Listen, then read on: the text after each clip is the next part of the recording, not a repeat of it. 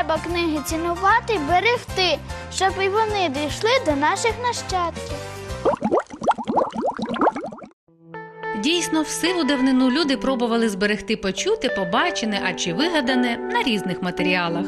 Але глина виявилась незручною, висушена болотяна рослина папіру з крихкою, а книги зі спеціально вичиненої та відбіленої телячої шкіри пергаменту дуже дорогими.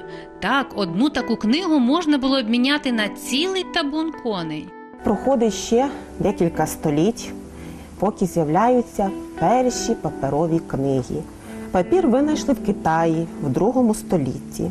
І перші паперові книги були рукописними. Але одну рукописну книгу доводилося створювати дуже довго, навіть декілька місяців і майже рік. Сидів писар і гусячим пером виводив рядок за рядком.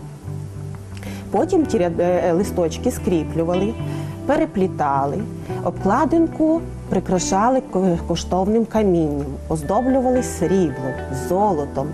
Звісно, ми розуміємо, що це теж були дуже дорогі книжки, і для того, щоб їх не крали, їх прикріплювали ланцюгами до стіни. Полегшив цю роботу винайдений у Німеччині в 15 столітті друкарський станок.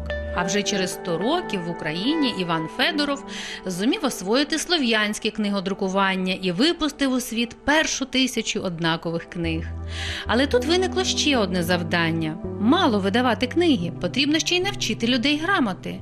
І ось Іван Федоров видав у Львові першу слов'янську абетку, а пізніше граматику та інші підручники. Так почало поширюватися книжне знання. Ще в Київській Русі книжечка була у великій пошані. Великий кні... київський князь Ярослав Мудрий створив першу бібліотеку. На жаль, книжки з цієї бібліотеки до нас не дійшли. Але є припущення, що кияни сховали ці, цей дорогоцінний скарб від татаро-монгольського іга. І, можливо, коли ви виростете, ви вивчитесь і комусь дуже поталанить, і ви знайдете книгозбірню наших предків. Я не знаю, але можливо ще сом ви виростете, і хтось із вас також напише свою книжку. Не знаю про що вона буде.